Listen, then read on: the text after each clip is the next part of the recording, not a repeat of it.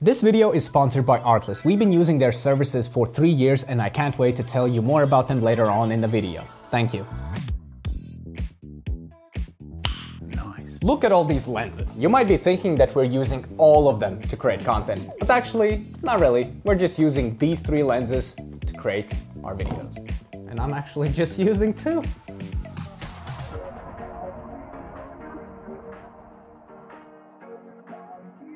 Scene one, take five. Go.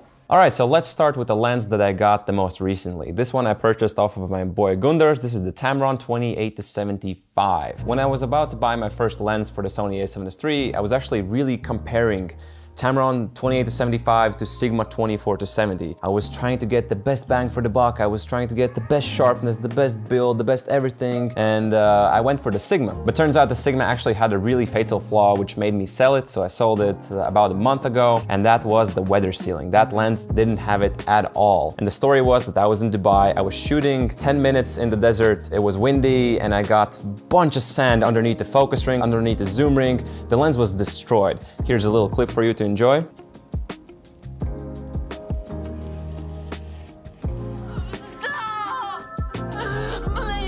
So the story of that lens made me realize that it doesn't matter how sharp the lens is. What matters for me and us really the most is portability and mobility. So much more useful to have a lens which is light, compact, and uh, just does the thing. It doesn't fail on you and uh, this lens is really perfect for that. So yeah, really the only con I can say about it is that uh, sometimes I do miss shooting with primes because uh, zooms tend to make us lazy because you're not moving so much, you're just, you know, zooming in. That's really the only bad thing I can say about this. The rest is just, it's probably the best bang for the buck you could ever get for a lens. Like this is such a great lens for those who are just starting out, you're, you know, experimenting with different focal lengths and this lens just covers all of them.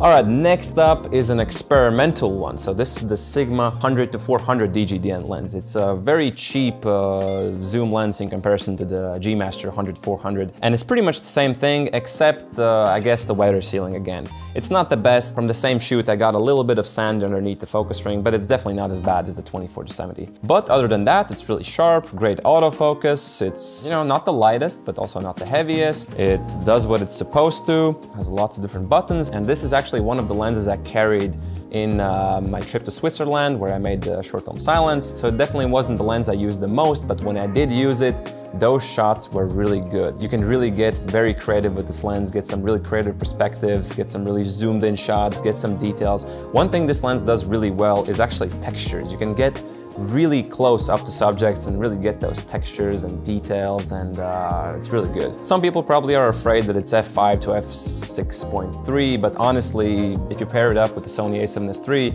just bump that ISO to 1200, uh, 12, 12,000, 12,000, 12,800 and really I never have to worry about it. Maybe the only thing if you're getting this lens you need to buy this uh, tripod collar which costs an additional $100 but other than that it's a really great package. Definitely not the lens you would buy first but it's a great companion to, let's say, the Tamron 20, uh, 2875. All right, and finally, my favorite, which is the Sigma 14 to 24 DGD, and I absolutely love this lens. The main concern when I was uh, about to buy it was it doesn't take front ND filters. This hood, yes, it's uh, built onto the lens.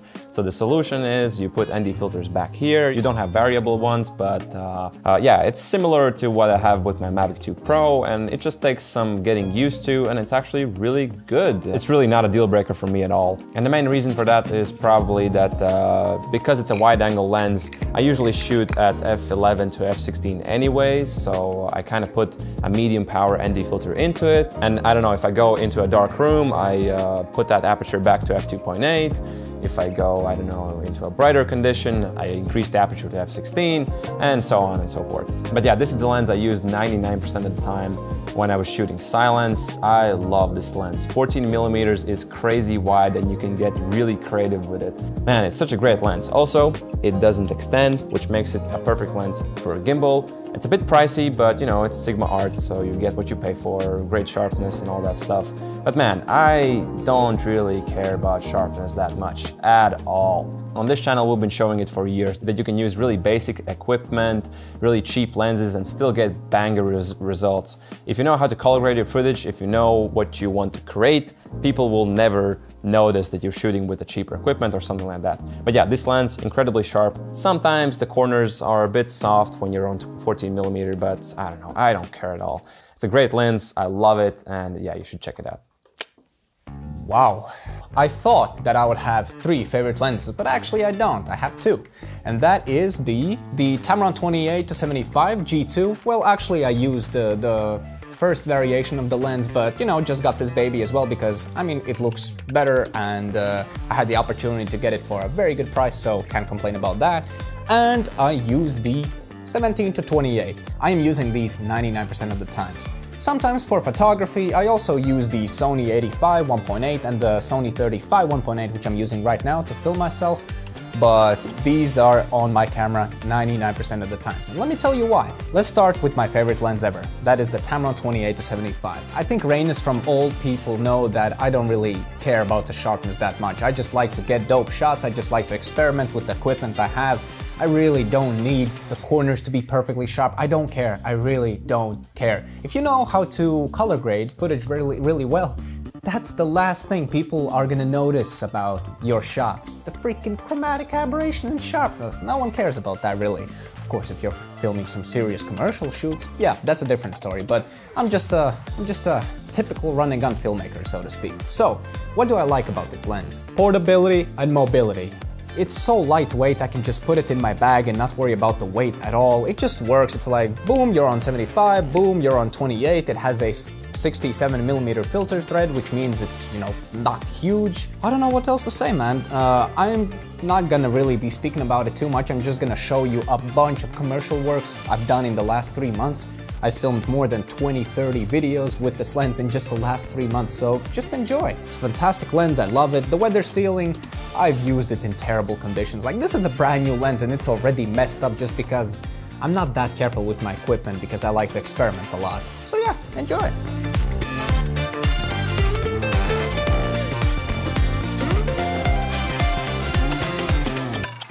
The second lens is the Tamron 17 to 28.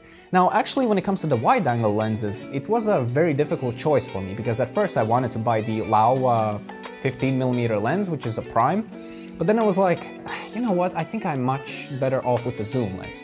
And this was one of my best purchases yet because yes, 17 is not as wide as 14, but honestly, I don't really need it to be wider. But yeah, this is a killer combo. And you know why?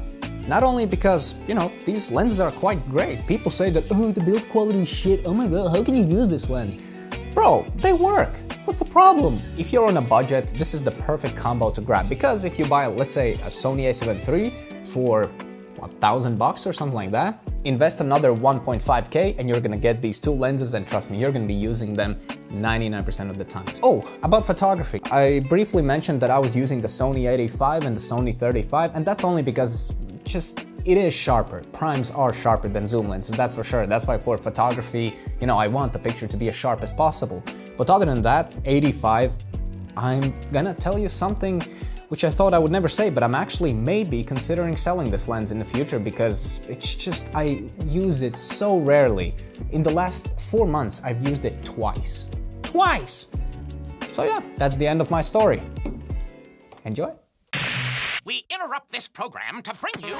Let's talk a little bit more about Artlist. Artlist is a music and sound effects licensing platform with a lot of flexible plans for us filmmakers. If you do client slash commercial work, you can get unlimited downloads to both music and sound effects for a yearly subscription fee. Or if you're a content creator and do, for example, YouTube, TikTok, or Instagram, you can choose their personal plan, where you can pay a monthly or a yearly fee and it'll cover all of your social channels. Gotta love these flexible options, eh? We've been using their services for three years.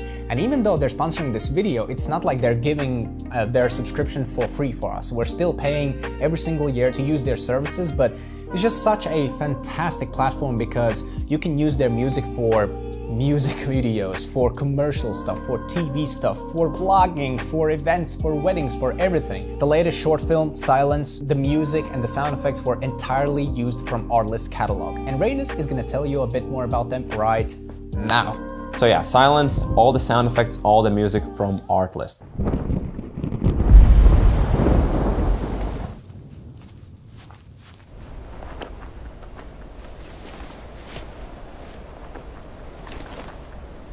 Their sound effects especially is probably my new favorite thing about them. When I made Silence, I spent so little time looking for what I need and I'm super picky about sound effects, so that says a lot. Probably the best thing is that you don't have to deal with some licensing stuff really. You don't need to sign any papers or put any codes or uh, do some complicated stuff. You just download and use that song for however many projects you want, publish it wherever you want. It's so easy, so effortless, and it's probably the best investment you'll ever make when it comes to filmmaking. So yeah, check out artlist.io and thank you for sponsoring this video. Hell yeah! Okay, it's time for the Dream Duo to be in the scene at the same yeah. time. Let's just talk about the lenses which are dope, which we would recommend it to anybody, but we just don't use them that much. We love them, but we don't use them as often. So let's begin with you. Maybe the 85, I mean this is Gunder's lens, but uh, I did have an 85 before myself. I don't know, it's really sharp. It's Honestly, this is the best lens probably for photos. If I was doing portraits again, I would be using this lens, of course. Oh, yeah. But for videos, I don't know, it's just a little bit... How, how would you explain this? You, you know what I'm talking about. It's like, you know, when I look at this lens, all I want to do is shoot with 1.8. Basically. Yeah, exactly. And when shooting video, 1.8 is kind of like a hit or miss situation, especially when you're working with clients. Just like Rainy said, for photos, it's an amazing lens. It's sharp, the bokeh is nice, everything Yeah. is so good. But for video, it's just, I'm good with Tamron on 75 millimeters, 2.8 aperture. You still get creamy bokeh. I just don't know. I It's just a little bit not practical, Yeah, I would say. exactly. You know, I think when we started out, there was this uh, misconception that, oh, you just need bokeh in the shot and it's gonna look awesome. You know, if you don't have any bokeh in the shot, it's not a good shot. Yeah, I don't know, 85, it's cool. I don't know, if you have some spare cash, maybe get it. But uh, exactly. it's definitely not your primary lens or, you know, your bread and butter and stuff like that, yeah. And uh, one thing I've noticed, which actually was pretty shocking to me, is that this is a 1.8 aperture lens. This is a 2.8 aperture lens. The thing is, with the Tamron on 75 millimeters, you can get way closer than with the Sony. So sometimes, when you get close enough with the Tamron 28 to 75, you can literally get the same amount of bokeh on 2.8 aperture than you can with the Sony on 1.8, which is kind of crazy to think about, but I've noticed that. Actually, that's probably the best feature of the Tamron 2870 that you could, you can get really fucking close to your subject. Literally macro shots. It's such Yeah, a dope feature that you could never get with a prime. Yeah, Exactly. One thing we forgot to mention. Yeah. And another, the other lenses which uh, I'm using right now uh, to film us is the Sony 35 millimeter.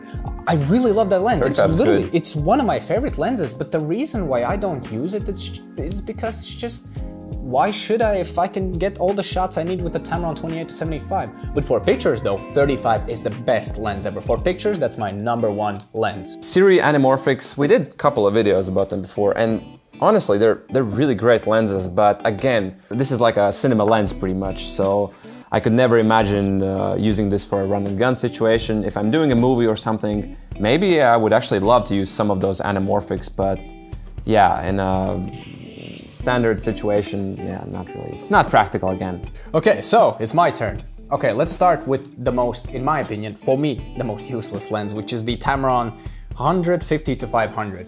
I know a lot of nature photographers would just go, oh my god, it's so stiff. That's what she said. And uh, yeah, many nature photographers would go crazy, and sports photographers would would go crazy about this lens, and I completely understand it. It's a fantastic lens, and you can seriously capture some amazing details with it. But for my line of work, I just don't need it. I've used this lens twice in the last six months. And yes, I did get some really fantastic results, especially we used these two lenses quite a lot on the Feel My City Sounds video. And the shots turned out great, but it's just most of the time I'm good with 75 millimeters, honestly. So yeah, this is kind of collecting dust. In the nature, it's a really fun lens to use. I remember when I was in Switzerland and there was this deer really far away, and I got the, that really good shot, shot which I'm going to show you right now. Uh, man, sometimes these lenses are really good, but it's not the lens you're going to be using the most. Again, it's a really good companion that sometimes will produce amazing results because, again, you can get really creative perspectives. It's more of a lens that you can just play around with, and sometimes Yep. you can get really banger shots, but it's not, you know. But you know what's the best I thing? I still love it.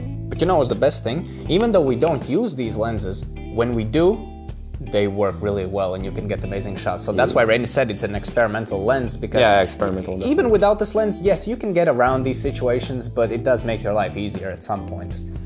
a lens which I've literally used once. I took this lens to Austria to get a lot of shots and it's, an, it's a great lens, but yeah, there is a difference between 14 and 17 millimeters, but honestly, the difference is not huge enough for me to carry both of these lenses separately. So I rather just choose this lens, which is so much lighter than the Samyang lens.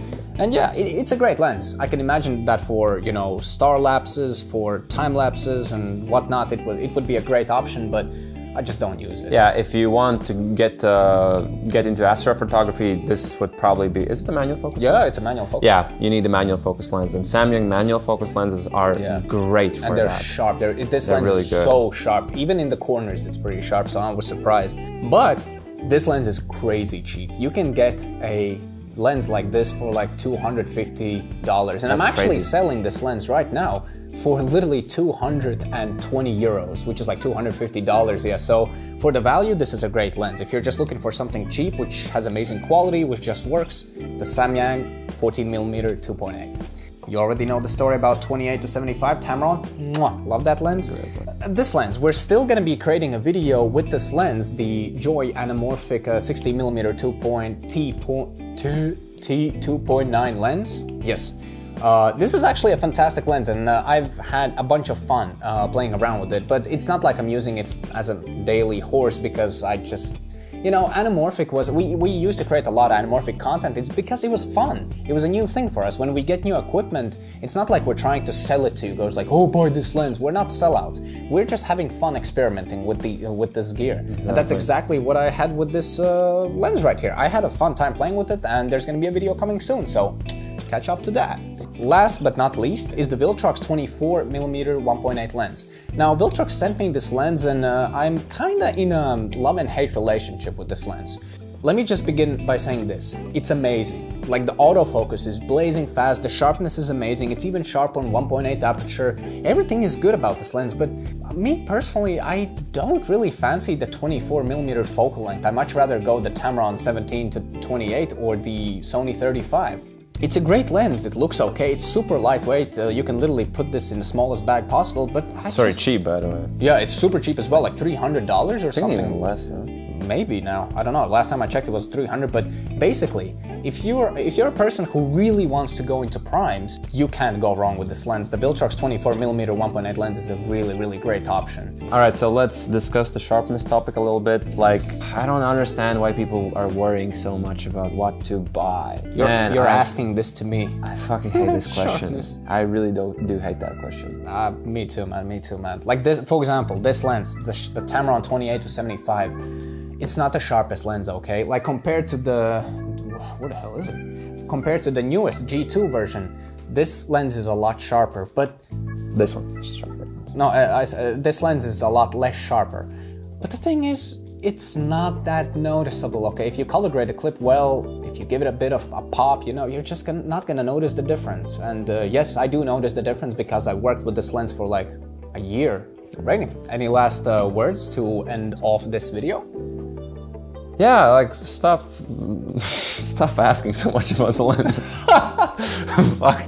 Oh, so Literally, literally, it's so funny. I the silent short film. It, in the title, it says Sony A7S III short film, and some of you still ask, "What camera did you use?" If you, if you kind of want us to create these videos more where we, you know, talk bullshit behind the table, let us know because we don't really like creating these types of videos, but once a month or once every two months, it's it's fun to just catch up with you guys. So uh, Man, should we create a series, bullshit behind the table? yeah, should what do you guys think yeah, about that? Your opinion, because if you want, we can definitely do so because this is, you know, it's it's Just fun the, to us as well. Yeah, this is just the basic topics. I don't Yeah, know. the- the exactly. Bare bones stuff. So we can talk about that, but it's definitely not like the most passionate thing or something. 2022 is going to be a really, really massive year for us. And Oh, yeah. it's like we want to do YouTube a lot. But at the same time, you have to understand that we're not those typical YouTubers who are just going to be doing reviews all the time. It's because we, most of our revenue comes not from trying to sell you guys stuff, but actually from doing commercial work because we work with a lot of big brands and uh, with a lot of big people. And um, yeah, that's why we're trying our best to pump out these YouTube videos, but it's probably not going to be as frequent as you might think because we still have a lot of shit to do outside YouTube, you know? But uh, yeah, it, it was nice seeing you again, and oh my god, haven't said this phrase in uh, many months. wait, wait. All right, you know the drill. Peace out.